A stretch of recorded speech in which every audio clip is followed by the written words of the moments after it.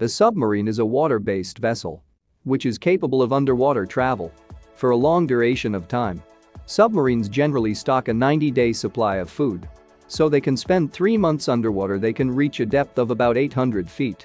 In the early 80s, Russia builds the Typhoon-class submarines which 175 meters long and 23 meters wide. This is a longer two Boeing 747 airplane.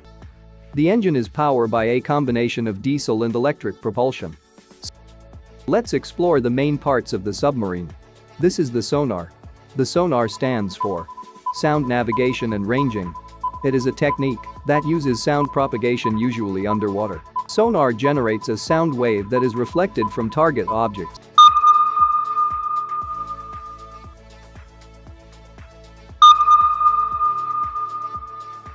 We can capture two types of data using sonar.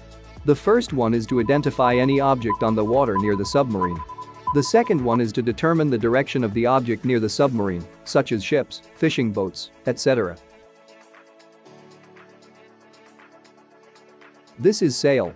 The submarine sails once housed the conning tower, command and communications data center, which include the periscope, radar, and communications masts. This is the periscope, a periscope is an instrument for observation over, around an object, obstacle, or condition that prevents direct line of sight observation from an observer's current position.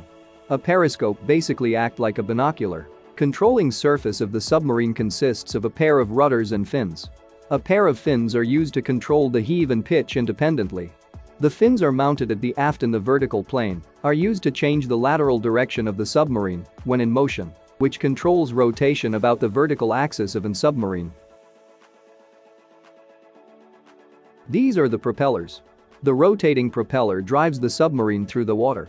The propeller is powered by a combination of diesel and electric propulsion engines.